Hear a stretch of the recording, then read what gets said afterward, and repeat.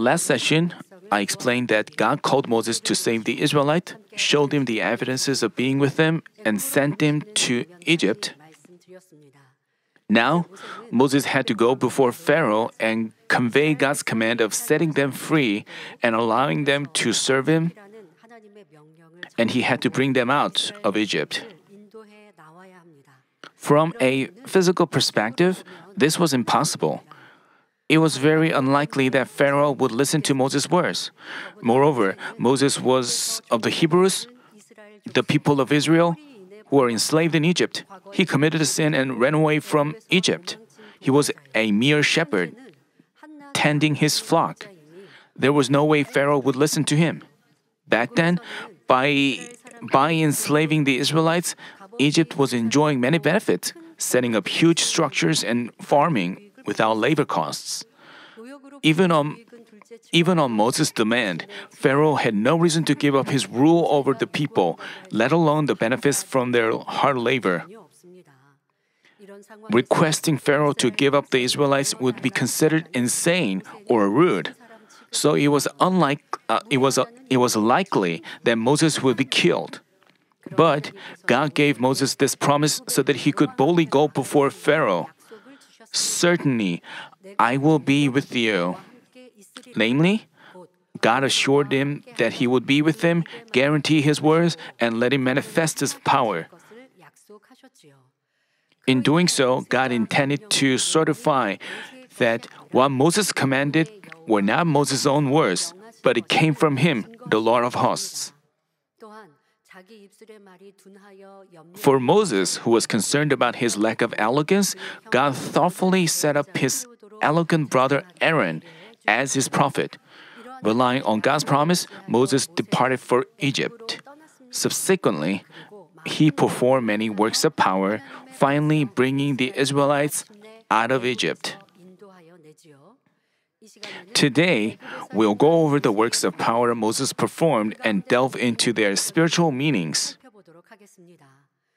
I pray in our Lord's name that this message will help you put trust in the Almighty God and fully accomplish Father God's providence through confessions and deeds of faith.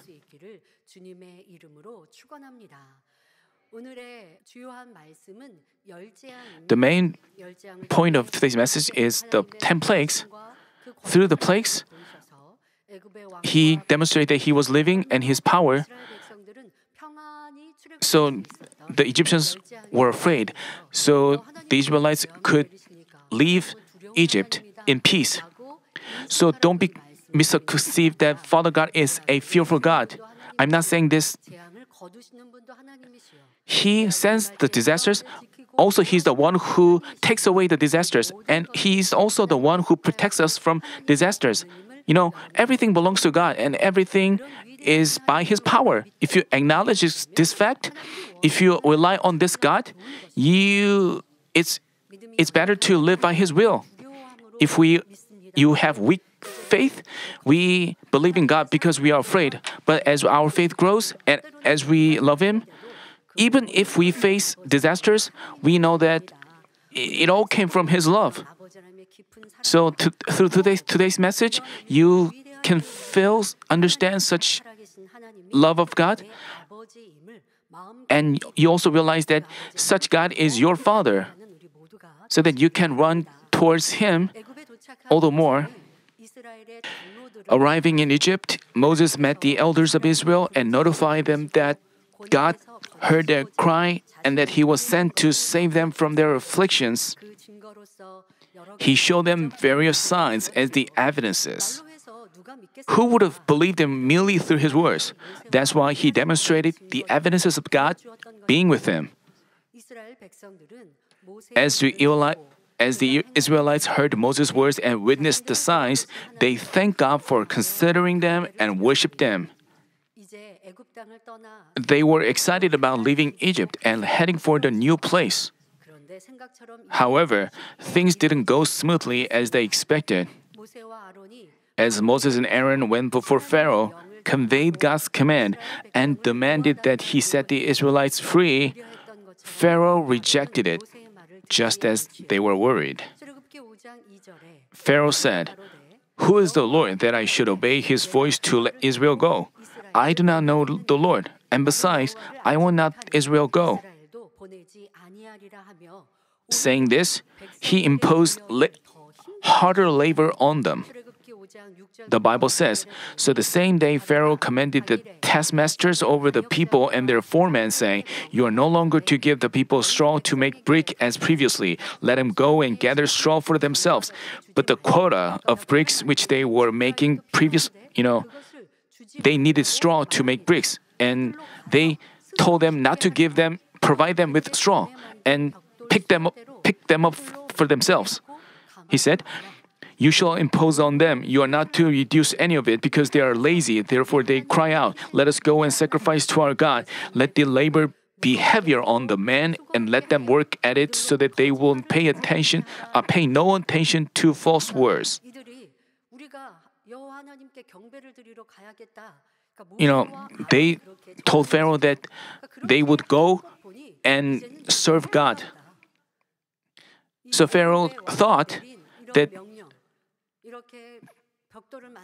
they were the labor was easier for them. because they provided the straw for bricks. so that's why the pharaoh decided to uh, impose harsh labor on them so that they couldn't think about anything else. As a result, the Israelites faced harsh labor and they got beaten for not satisfying the quota. Because they heard that God considered them, they expected Pharaoh to liberate them right away. But as they faced severe hardships, they were deeply disappointed. Even though Moses talked about God's promise, as they faced harsh reality, they didn't believe him. Rather, they complained that they suffered even more because of him. You know,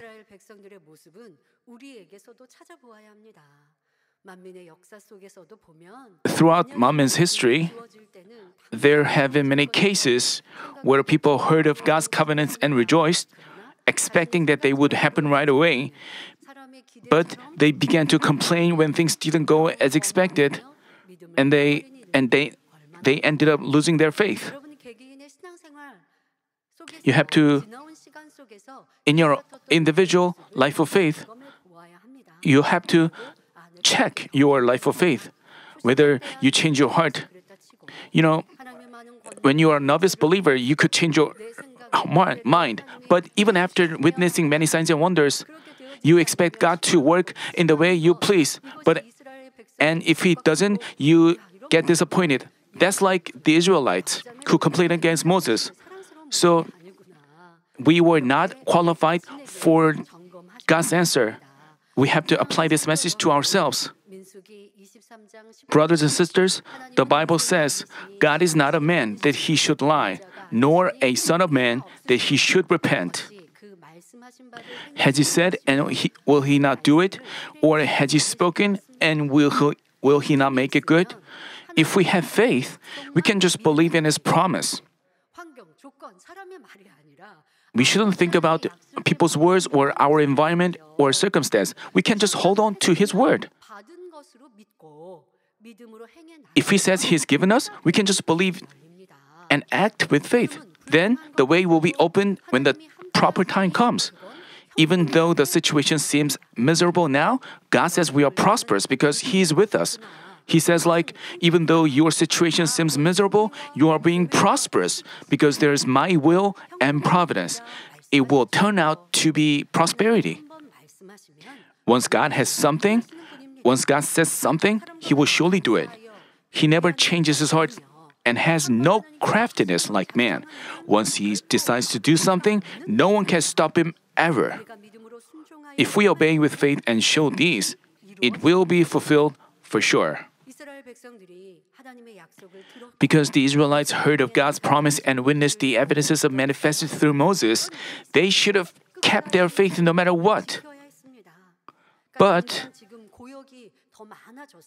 even though they faced harsh raver right now, even though the situation didn't go as they expected, because Father God set up Moses as their leader, and Father they heard of God's promise of leading them out of Egypt, and because they saw extraordinary works, they should have believed it, and they should have believed Moses, but they failed to do so. While they expected the promises to be fulfilled immediately, they faced harsher reality. Disappointed, they distrusted Moses, whom they had believed to be their leader. This indicates what their faith was like at the time. They had little knowledge about God. All they knew about God was that He appeared to their forefathers, Abraham, Isaac, and Jacob, and that He would save them from Egypt and lead them into Canaan. If compared to today's believers, they were merely novice believers who just started attending church. You know, God, at that point, they were like novice believers spiritually. Knowing their level of faith, God didn't blame them. He began to manifest His words through Moses. They were the well known, famous, 재앙입니다. 10 plagues. 바로 왕이 하나님의 명령에 Until Pharaoh obeyed God's command and let the Israelites go, God inflicted the 10 plagues upon his entire nation, one by one. 차례로 나타내신 것이죠. 이 재앙들은 처음에는 아주 It started with very minor ones. 재앙들을 당하고도 As he refused to repent after suffering minor plagues, the plagues intensified and finally led to losses of death. 여러분들도 이 말씀을 losses of life. I hope that you won't consider this message just their story of Exodus, but think that it all relates to you. This message doesn't just apply, it just doesn't apply during the Exodus, but until the time but applies until the time God's redeeming work, the, the human cultivation is over. The first plague was the plague of blood. As Moses struck the water with his staff, all the water in the Nile turned into blood. The fish in it died, and the stench from the water permeated throughout the nation. The Egyptians urgently had to dig wells, uh, dig wells to get drinkable water. After Moses brought down that plague, the Egyptian magicians did the same. From the fact that the magicians also turned water into blood, you shouldn't be conceived that the animatable can perform power. Power belongs to God alone. Then, how could the magicians and sorcerers turn the staff into serpents, turn the water into blood, and make frogs come up? Uh, which was the second plague. You know, in the ancient societies were magicians and sorcerers that worshipped supernatural things and they conducted sacrifice, sacrifices before idols. They used tricks and hypnosis, told fortunes by inspirations from evil spirits, and cursed people. You know, years ago, even in Korea, were also people possessed by demons. There were rumors that they healed people, but it was never so. You know, demons give us trouble, give us curse. And if people worship them well, and demons temporarily uh, l- make those hardships leave temporarily. But let's say you commit evil and sins, you belong to darkness, then you are the people of the enemy devil and you are their slave. That's why they can give you trials and tribulations. And they give you tribulations, and then you go to the fortune tellers and then the, the enemy devil takes away the troubles for a moment. So people may think uh, because I worship the, the idols, those things left. They may think that way and they may be in peace for, for a moment. And then the enemy devil brings troubles again, and this cycle repeats. So the enemy devil gives trials and tribulations to people who belong to darkness. And through those works, it, they make people believe that they can do something great. They were such sorcerers and magicians uh, years ago. You know, in Korea, were in, they were shamans possessed by demons. Among them were people who could dance on the sharp place. Because they were possessed by evil spirits, they could do so. They were under the influence of the evil spirits. They could do such things to some extent. And the most important thing is, they cannot mess with people of God. They cannot harm the people of God. They can only mess with people who belong to darkness because they belong to them, because they are theirs. They can give them trials and trouble, and they can also make those troubles go away for a moment. After they are worshipped, they after a while they give them back. As we see, see people worshiping the demons, you know, only God is the true God, but they serve them. As a result, they repeatedly suffer hardships. You know, the Egyptians, magicians, uh, uh did, did these kind of things. You know,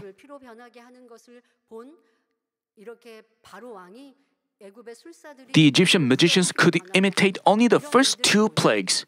As Pharaoh saw his magicians turning water into blood, he hardened his heart and didn't listen to Moses. He didn't listen to Moses and refused to let him go. So the second plague was inflicted. You know, the people of Egypt and Egyptian king suffered troubles, they didn't believe in God and they imposed harsh labor on the Israelites and they beat them. They were such evil people. Because they committed evil, they brought hardships to the Israelites. Even though they, they were shown amazing power, they hardened their heart and did greater evil. That's why they continually suffered trials, uh, troubles. As Moses warned, countless flocks came up from the river and swarmed the entire nation. As you hear this message, you, you, you shouldn't just hear, but you have to imagine how that happened, how the plagues unfolded. You can imagine how distressing it must have been. And that's, that makes our, my message more interesting. Gross looking flocks filled the streets and they went into the Egyptians' houses on their beds and even into their kneading bowls.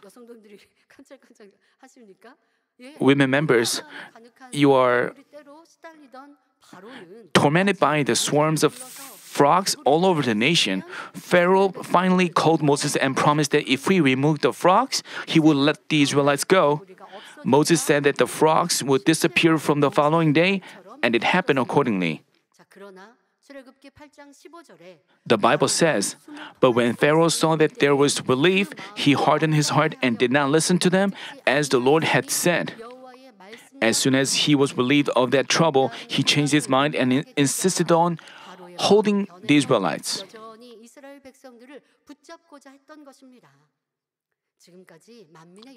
We've seen many of such cases throughout the history of Manmin. There were people who said, Senior Pastor, if I'm healed of this, I will work faithfully for his kingdom and diligently attend church. They made such earnest confessions and got healed, but not long after that, they left.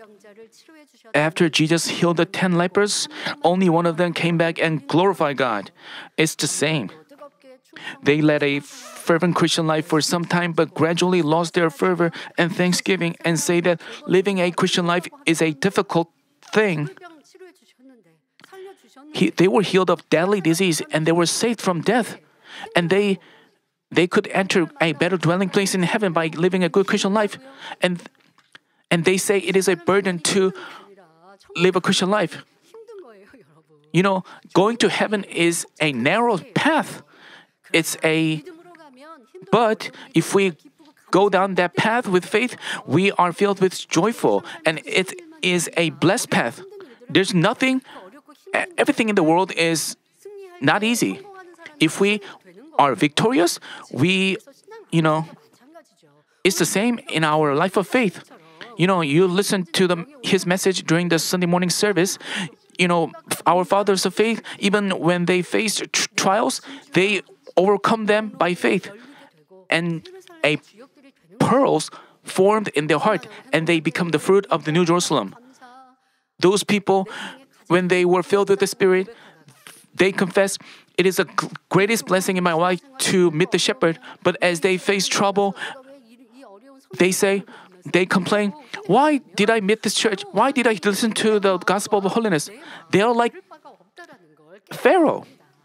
They change their heart. Everyone, God healed you. God allowed you to meet this church. God healed you. Uh, God healed them and allowed them to meet Him so that they would lead a good Christian life and enter heaven. God didn't heal them to see them leaving Him and walking towards hell again. Many people, but many people change their heart after they receive blessings, become the head, or find peace in their life. After their hearts change. Thus, we should quickly cast off this change of heart. God already knew Pharaoh would change his mind. Plagues continued until Pharaoh obeyed his command. As you listen to this message, you should know that your change of heart could bring down disaster. And even if in the face of trial you cannot discern why that came, your change of heart makes your heart harden even more. You have to know that such stupidity may exist in you. When you are filled with the Spirit, you work hard for the church, but at some point you lose your fervor and you begin to complain and you say that this is a burden. And then when you receive grace, you get filled up with the Spirit again. Such life of faith. That's why you were not able to enter Spirit. That's why you failed to receive His blessings. You have to find the reasons from yourselves. You shouldn't say, like, oh, why didn't I receive blessings even if I led a fervent Christian life? You, you should know that such change of heart, such a stupidity, the kind that Pharaoh had, may exist in you. And those people do not find the reasons from themselves. In the face of a trial, they blame others. Uh, they should find the reason from themselves. But people with hardened heart, in the face of a trials, they don't find the reasons from themselves, but they put the blame on their environment or on other people. That's why they are stubborn. As a result, they face even greater plagues. The third plague was the plague of nets. As Moses commanded Aaron to strike the dust of the earth with his staff, all the dust turned into nets, and those countless nets were on men and beasts. People, uh, the younger people of younger generation, do not know what nets are. You know, as for me, I'm uh, I'm 50, so I know what nets are. You know, back in school, the teachers uh, looked at our head. If there were nets on our nets, uh, on our they were nets among our hair.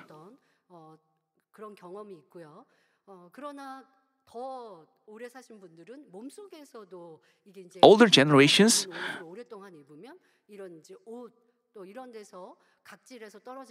if they don't wash their clothes for a long time, they might find nets in the clothes. Nets are if nets are on animals or men, they you know dust that is lifeless and useless turned into animated nets that feed on the blood of animals, causing itchiness and inflammations. The Egyptian magicians tried to imitate them but failed. Turning the dust of the earth into animated nets is the area. You know, lifeless objects turned into animated thing. This is the work of creation. So it only belonged to God's power. That only belongs to God, the Creator. A work of creation, which is possible only with God, was beyond their ability. Even with highly advanced medicine and science, man cannot revive a dead person or create something out of nothing, which is the area that belongs to God to creator. Once a person once a person's optic nerves die and he becomes blind, his dead nerves cannot revive even with highly advanced medicine. It cannot make a person with ruptured eardrums hear well. It cannot do anything with tissues or cells that have become degenerated or the bones that have been bent for 10 or 20 years. The same goes for paralyzed body parts. Until they become stiff, we can try a massage or medication, but once they become completely stiff and degenerated, we are helpless. But God is not. So the Egyptian magicians confessed to Pharaoh that they weren't capable of doing such a work and that it was the power of God. Namely, even the magicians acknowledged God, saying that it was possible only with God's power. Nevertheless, Pharaoh didn't relent, so Egypt continually suffered the plagues. Even today, such astonishing works of creation possible only with God are taking place at this church on numerous occasions a person's leg was lengthened, and degenerated bones became loose and made people walk. And the blind, the mute, and the deaf began to see, speak, and hear through prayer with the handkerchief of power. Such works, reviving what is dead, signs and wonders, only belong to God. The enemy devil cannot do perform power in this church. Senior pastor made it clear that if he said that if enemy devil perform power in this church and how could enemy devil do such a thing? They never would do so. They would never make people believe in God. So it's the only the area that belongs to God. And Father God works through these manifestations. But how could people pass a judgment and condemn this church seeing such works? This is the stup- stupidity of the humanity. The fourth plague was the plague of flies. Swarms of dirty flies filled the palace of Pharaoh and his servants' houses as well as his people's houses. It wasn't just the one or two flies. Swarms of flies filled the houses of the Egyptians. It would be so unpleasant to see them. It would be unpleasant to see a fly conveying all kinds of germs hovering over your food. How disgusted and distressed you'd be to see numerous flies around you. Pharaoh called Moses and promised to let the Israelites go if we removed all the flies, but as the flies were gone, he again didn't keep his word. This, even after he saw God's power, and for a moment he acknowledged God. Because even Pharaoh's magicians didn't couldn't do so, even his magicians acknowledged that it belonged to God's power. That's why he asked God to drive away that plague. And he temporarily promised that he would let them go. He acknowledged God. He knew who he was. But even after Moses did as he asked him to do, Pharaoh again changed his mind. So he had such craftiness, he had such stubbornness. That's why he suffered plague after plague. You know, even after people experienced the power of God, when things didn't go as expected, they began to complain. So, do you think they really have faith? Just like Pharaoh, when they were happy, they but as they face trouble, they change their heart. It's the same. You have to repent of such things in our life of faith. Only then can we bring down God's answers and blessings. And Pharaoh changed his heart again with his stubborn heart. As a result, The plagues of pestilence and boils were inflicted and tormented livestock as well as people in all over Egypt. Even after all these plagues, Pharaoh didn't relent. As the seventh plague, hail, thunder, and lightning came down from heaven, ruining all the fields and killing animals and people that were outside. Even the crops that survived this plague of hails all disappeared by the next plague, the plague of locusts. As these horrible plagues struck the nation one after another, Pharaoh said like, I will let them go if you stop the hail, if you remove the locusts. But once the plague stopped, he changed his mind again. Due to Pharaoh's such hardened heart, Moses stretched out his hand toward the sky. Then light disappeared from all the land of Egypt. For three days, there were no light from the sun and the moon. Due to thick darkness, they couldn't see one another. Neither could they go out of their houses. It was the plague of darkness. Nowadays, we don't have the power outage often, but many years ago, we used to have power outages often. That's why we have to prepare uh, something in our houses so that we could. Uh, it was such discomfort. We couldn't go to, go to our bathroom. We just sat around the candle. Nowadays, we don't have, we hardly have power outages, so we cannot imagine what it would be like if the world is dark.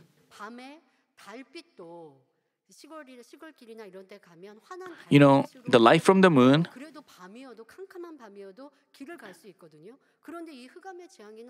but during that plague of darkness, there was no light from the moon. So such discomfort lasted for three days. They couldn't do anything. They must have been frightened as well. Such disaster came upon them.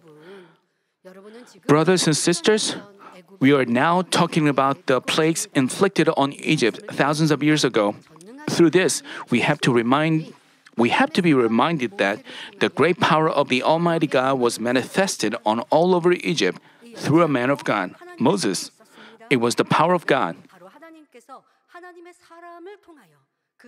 And Father God worked through the words from the lips of his man.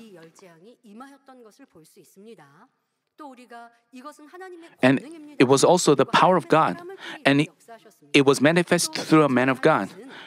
Another thing we need to realize is that God had the 10 plagues recorded in the Bible to notify us of why people face disasters and how they can escape from their afflictions. These plagues represent all kinds of afflictions facing mankind today. The Bible says, and their dead bodies will lie in the street of the great city, which mysterically is called Sodom and Egypt, where also their Lord was crucified. As said, spiritually, Egypt signifies the world filled with sins and evil. Just as Pharaoh opposed God and suffered the plagues, people dwelling in sins and evil are tormented with various tribulations, and they are all included in the ten plagues. Let us briefly go over the spiritual meanings of the ten plagues. For more details, you can refer to the City Pastor's book, The Ten Plagues, which dealt about the ten plagues. During the plague of blood, people suffer from the shortages of water, one of the essentials in life. So it concerns minor troubles happening in our daily, everyday life, in our families or workplaces. They are not major ones. They refer to minor ones among family members, like breaking of peace. It's not major, tremendous breaking of peace, just minor breaking of peace. It refers, they refer to such minor ones. As for the plague of flocks, frogs are the abominable reptile according to the Bible, and they signify Satan. The plague of frog refers to a situation where your life is under Satan's work in all aspects, your family, workplace, etc. As Satan works and causes disorder, you find your life unbearable. The plague of gnats referred to a situation where insignificant matters like dust, things which had been lying dormant, suddenly magnifies into a big trouble, causing you a lot of agony and distress. For example, trivial things between brothers and husband and a wife can lead to a fierce fight.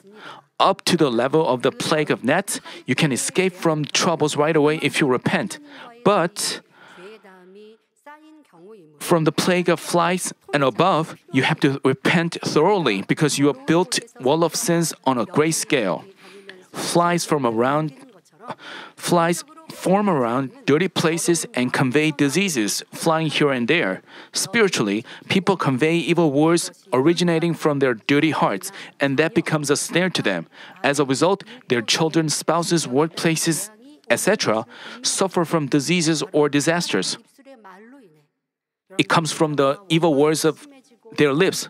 As their complaints pile up, and they if they and they dishearten God, and their words of judge, judgment goes beyond the the limit, they can face such disasters. Even while they continually suffer from such flags if they don't turn back, they get stricken by greater ones, like the plagues of pestilence, boils, hells, locusts, etc. You know, you, you should know well what it is to repent and turn back. You listen to the.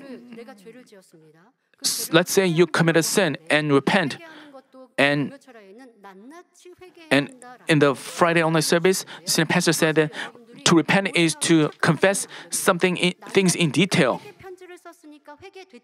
So you shouldn't be misconceived that if I write everything down in a repentance letter, I I haven't forgiven. If you if you if you write everything down and give your repentance letter to uh, some people who have good faith, Father God does not acknowledge. Just because you do so, Father God does not acknowledge you as repentance. You know, just because you confess everything in detail doesn't mean Father God acknowledges you as repentance. You know, repentance involves, you know, bitter praying, tearful praying. Sometimes you have to pray with running nose and tears and fasting. Such repentance should go on for days, for others, just saying, I've committed a sin is not a repentance. You have to you have to feel deep in your heart how you disregarded God, how you what a great evil you committed. How unacceptable that is. You have to feel it strongly from your heart and you have to feel apologetic and you have to feel so embarrassed before Father God. You have to have such feelings. You have to pray with such feelings. That's repentance. You don't feel while you don't feel anything in your heart, you just say things to God, Father God, I committed this and that. Please forgive me. That's not repentance. People, you know, they write repentant letters and they uh, write down things. But let's say you hated a brother in the Bible, the Bible says that hating a brother is a murder. You know, let's say you, you don't even want to deal with him. You hate it when he prospers and you want him to become miserable. Then, just as the Bible says, you are committing a murder spiritually and that applies to you. So, even though you didn't kill, stab a person to death, you have to think you committed murder and you have to rend your heart in repentance. And then you would ask for, you sh- then you would feel so apologetic and embarrassed before Father God. And but while you don't have such feelings, just because you face trouble and you have a disease, you try to search for things to repent, but you do things just habitually. You know, in addition to that, you have to turn from your ways. You have to change the direction of your way of life. You have to stop doing what you used to do. You have to turn your steps onto the way of truth. Only then Father God will acknowledge that as repentance and all the disasters will leave you. You know, but people send send repentance letters and do nothing for repentance, and then the disasters will not leave. So you have to know that to repent is to rend your heart. And in addition to that, you have to turn from your ways and you have to let's say you used to hate a person, you should you should stop hating that person. In addition to that, you have to love that person. And then Father God will make all the disasters go away and give you blessings. You know, the plagues intensify. The, pe- the plague of pestilence refers to major diseases developed inside. They refer to major diseases, not small ones. While the plague of boils signifies diseases revealed on the outside, which means the diseases have become more serious. The plague of hails refers to a situation where you suffer a huge financial loss in your business, workplace, etc. For example, if your family member gets a disease or has an accident, it may cost a lot of money.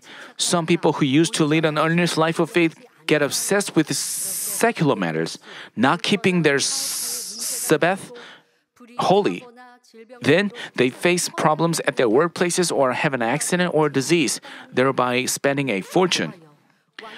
If the damage gets fatal to the point of a complete failure, that's the plague of locusts.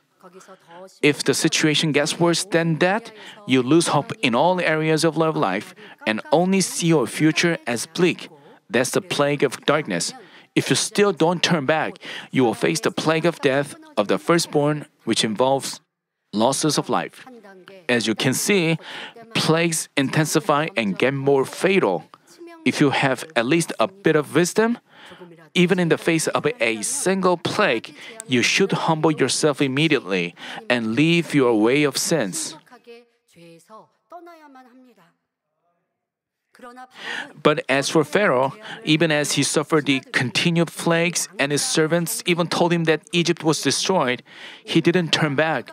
Even while seeing the entire nation in darkness, he was still stubborn. Eventually, in Egypt, all the firstborn animals the first sons of his servants and his people, and even his first son who would succeed him died. Only then did he entirely surrender to God. How stupid. I hope that none of you will become a stupid one like him. You shouldn't face a plague in the first place. But even if you face a minor one, you should immediately repent and act in proper ways before God. Brothers and sisters, while God's astonishing power was upon all over Egypt, how were the Israelites doing? You know, the Israelites were living in Egypt. Do you think they also suffered the plagues living there? No. When the when God warned Pharaoh of the plague of flies, he said, But on the day I will set apart the land of Goshen, where my people are living, so that no swarms of flies will be there, in order that you may know that I, the Lord, am in the midst of the land. I will put a division between my people and your people. Tomorrow, this sign will occur. In this verse, my people refers to the people of God. The people of Israel who belong to God were protected by God. But the Egyptians suffered disasters. And Father God said that He is. He said that He's the one who can send plagues and He's the one who can stop them. And he prophesied like that, and things unfold just as he said.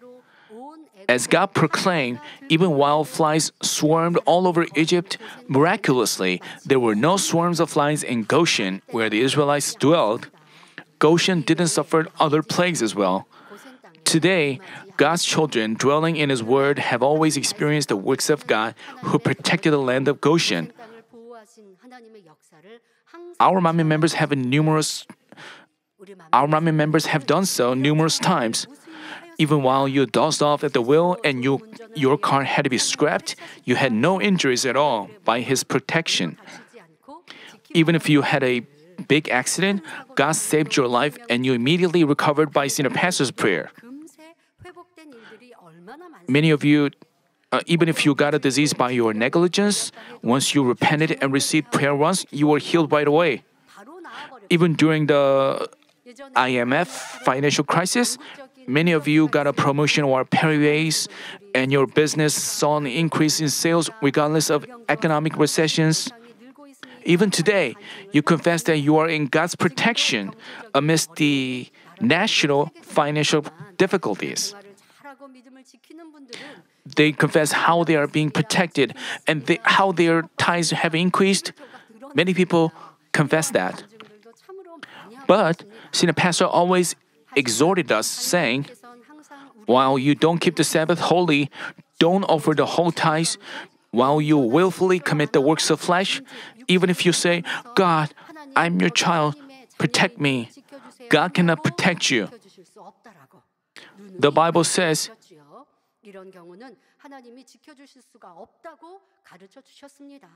even if you are the belong to the flock of Manmin, even if you attend church, you cannot be protected. According to the Bible, senior pastor made it clear. Senior pastor didn't teach us outside of the Bible.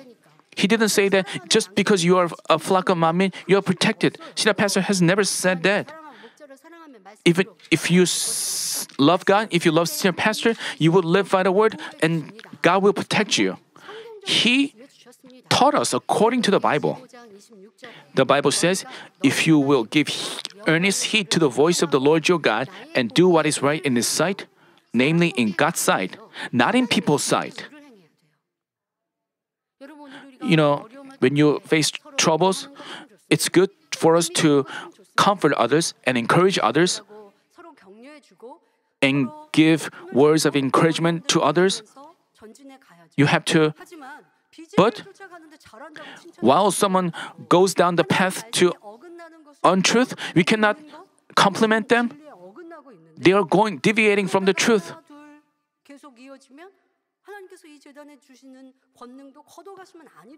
You should, we shouldn't let Father God takes away the power from this church. We have to, you know, even while the situation is difficult, we have to follow the truth. You shouldn't follow the truth according to man's righteousness. We shouldn't let this happen in this church. And give ear to his commandments and keep all his statutes.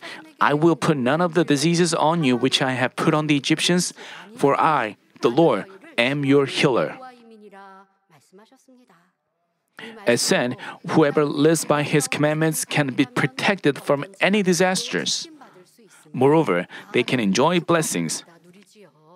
Thus, I pray that all of you stand firm in the Word of God and live according to His will, so that you can live in peace and blessings, regardless of any of the plagues that struck Egypt.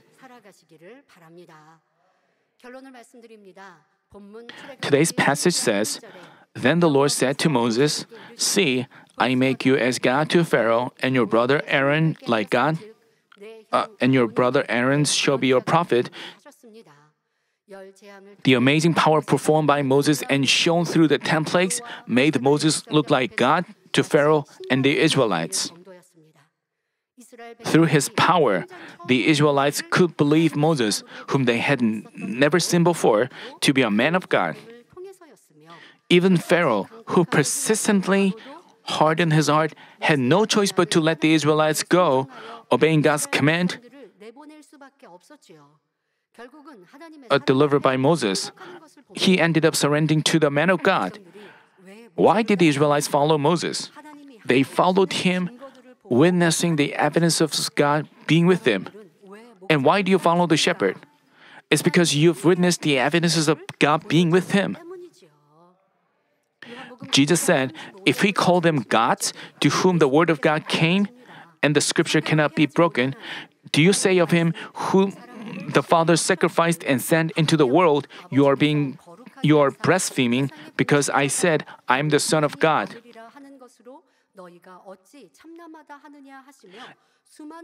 And he rebuked the Jews who didn't believe despite seeing his power many times. Jesus also said, If I do not do the works of my Father, do not believe me. But if I do them, though you do not believe me, believe the works, so that you may know and understand that the Father is in me and I in the Father. You know, Jesus said, if you cannot believe that I'm I'm the son of the Father, just by seeing what I do, if you do, if you see the power that I'm performing, you have to believe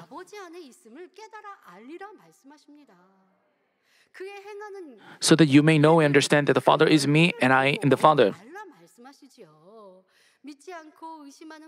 To those people who didn't refuse to believe him with hardened heart, even those with a doubtful and hardened heart, as they believe by seeing what is done, their heart is changed.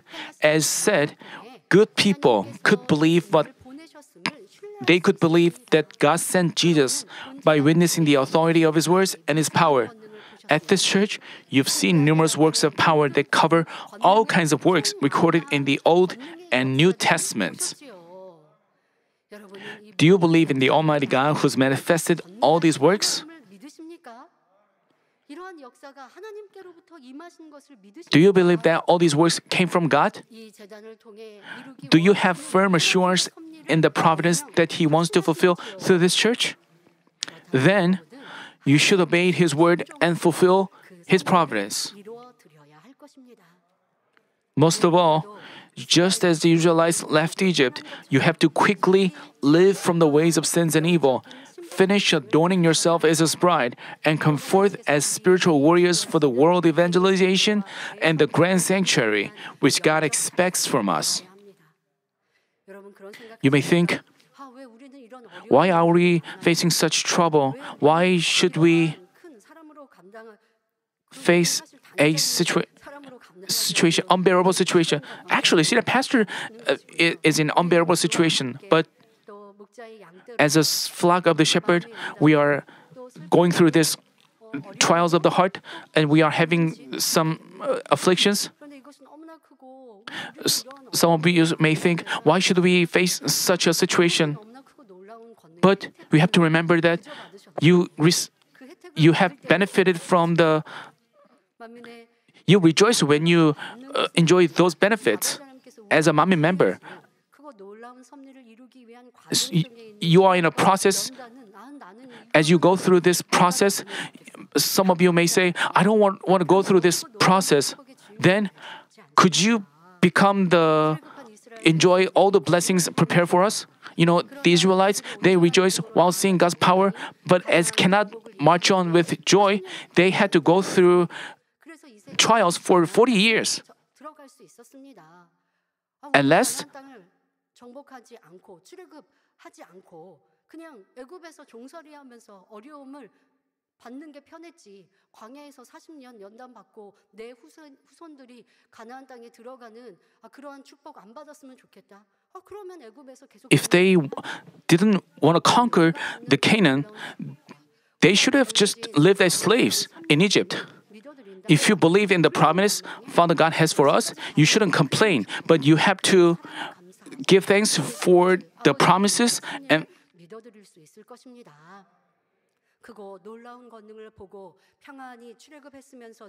we shouldn't we shouldn't be like the people who complain against Moses and oppose God in difficulties even after witnessing his amazing power and peacefully uh, escaping Egypt.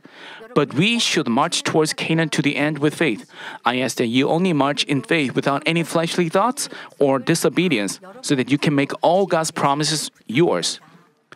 While God, whose manifested great power is with us, what should be what would be a problem if we if only we march on with faith? May each one of you make your faith even firmer, receive great authority and strength, and soon play the major roles in fulfilling, fully accomplishing Father God's providence. By doing so, I pray in the name of our Lord, Jesus Christ, that we will all enter New Jerusalem prepared by our Lord on the day God wraps up all his providences of the human cultivation.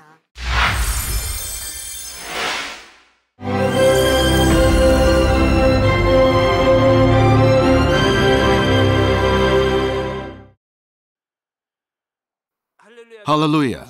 Almighty Father God of love, please lay your hands on all brothers and sisters receiving this prayer here in attendance. Lay your hands on all the members of the branch churches and local sanctuaries, and all the GCN TV viewers, and those who are watching via satellites, cables, and internet all over the world, transcending space and time. Plant faith in their hearts and drive out their negative thoughts and doubts. Let all the trials and afflictions leave them.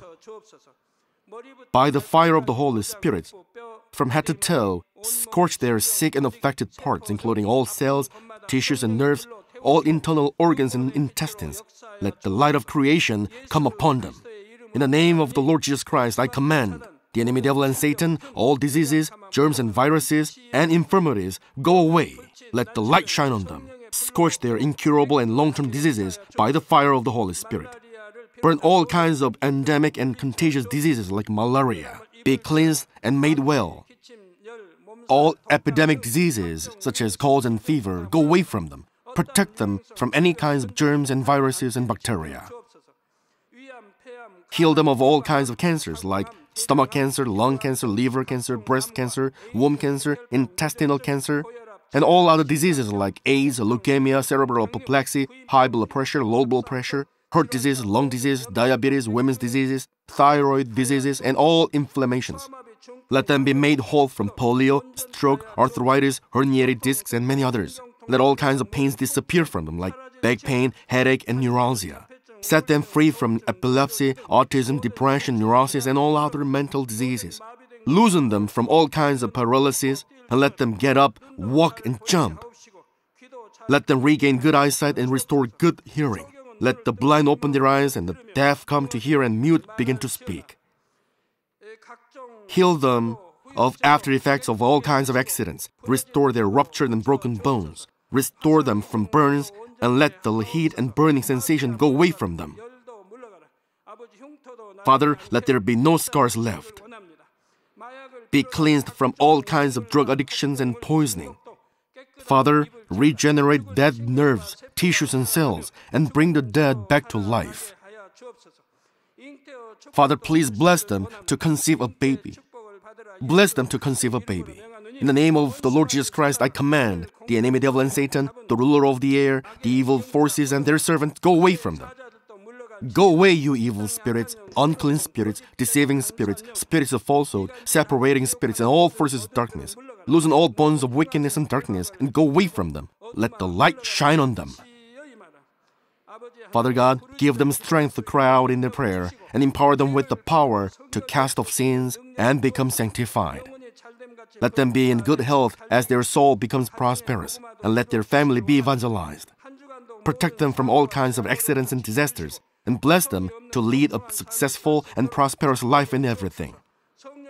Please protect your children, their home, their business, and their work by the fiery hedge of the Holy Spirit, with the heavenly host and angels, and with your blazing eyes. Give students wisdom and understanding, and fill their hearts with more passion and desire for study. Keep their hearts and minds from worldly things, and plant into their hearts more fervent love for God. Bless your children and let them give glory to you in everything they do, whether they eat or drink or whatever they do. Let them confess and testify to the living God. I've met God, I've experienced God, and received His answers and blessings. Father God, thank you. Let all glory be to you alone. In the name of our Lord Jesus Christ, I pray. Amen.